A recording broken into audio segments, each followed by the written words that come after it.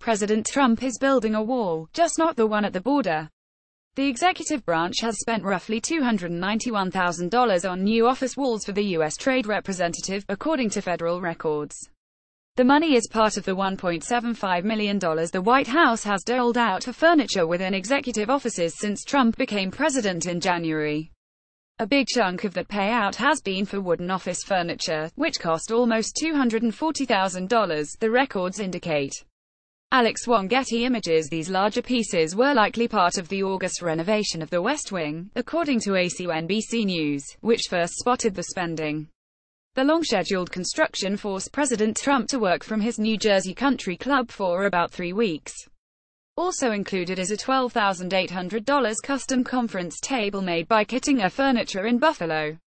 That's the same company who, in 1969, Nixon commissioned to build a 22.5-foot conference table for the Cabinet Room. President Nixon paid for the table himself, reads a post on Kittinger's website. It wasn't clear where the table will be installed, or whether it's being finished.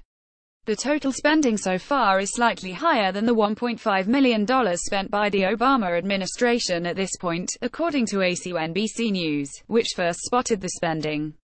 A new president will typically redesign the West Wing and other offices when taking office to reflect his personal preferences. Alex Wong Getty Images for the Trump administration that means $17,000 for new rugs and $5,000 for wallpaper.